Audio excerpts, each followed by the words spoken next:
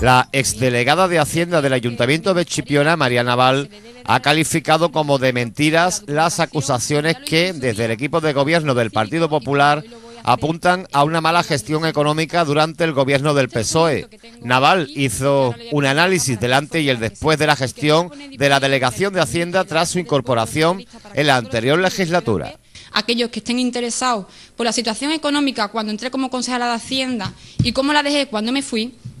lo voy a poner a disposición de todos los ciudadanos para que realmente se haga una comparación y para que vean qué hicimos el Partido Socialista y dónde nos gastamos ese dinero que dice Elvira que había, pero que yo voy a explicar.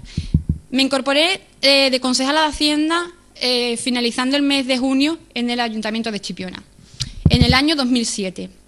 En el año 2008 eh, tuve varias reuniones con el Servicio de Recaudación en la Diputación Provincial de Cádiz, porque es el servicio que se encarga de recaudar los impuestos de los chipioneros y que después, mediante acuerdo, va eh, abonando al Ayuntamiento de Chipiona mensualmente. Pues bien, en el año 2008 nos encontramos que los ingresos no llegaban a los 7 millones de euros. El problema era que no se había hecho un estudio de todas esas nuevas viviendas que durante el año 2005 y 2006 se habían realizado y no se habían dado de altas en el Ayuntamiento de Chipiona. Ese eh, mm, trabajo se hizo con el Departamento de Catastro y con continuas reuniones que se tuvo con el gerente del Catastro en Cádiz, con el señor Miguel Ángel. Pues bien,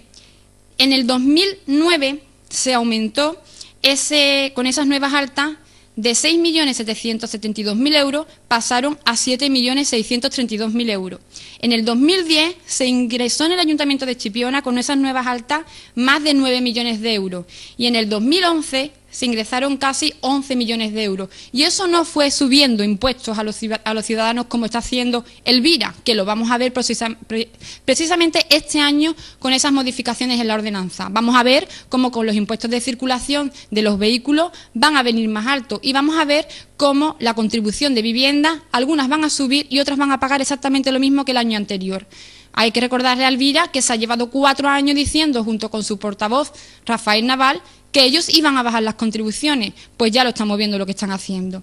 Y en el último año nos llevamos todo el año pagando la seguridad social. Eso permitió que vinieran las cantidades ingentes al 100% de subvenciones de todas las obras que se han hecho en Chipiona. Que por cierto habría que recordar cómo estaba el pueblo levantado en obra y poniendo nuestras calles bonitas y preparadas para el turismo, que es uno de los sectores más importantes que contribuyen a todos los ciudadanos de Chipiona, y cómo está el pueblo hoy.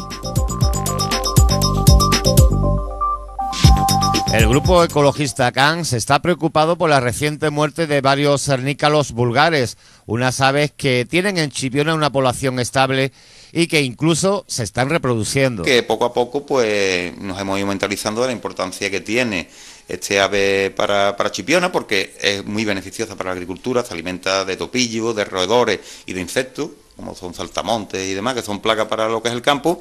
Hemos llegado a un momento en que hay una población bastante estable aquí en Chipiona y deciros también que en los últimos años pues se reproducido aquí en, nuestro pueblo, algo muy importante porque hacía ya mucho tiempo que no se reproducía en Chipiona, pero que últimamente pues hemos tenido esta noticia hace cuestión de, de unos cinco días pues nos trajeron por la mañana un cernícalo que venía emplumado, venía muy delgado y al cabo de las dos horas falleció.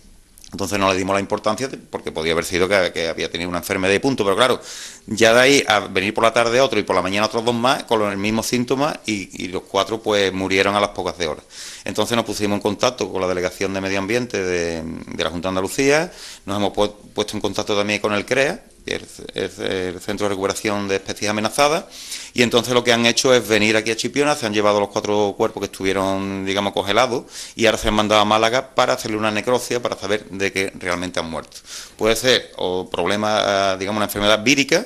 que sería, mm, digamos, casi peor, y la otra parte sería que estuviesen envenenados. No sabemos por qué, o de una fumigación, o de algunos cebos que haya sido para roedores y a su vez ellos lo han comido. Pero claro, lo que vemos ahí es que tenemos lo que es la punta del iceberg, porque si me han traído cuatro, imagínate los que hayan quedado por el campo que nadie los haya visto.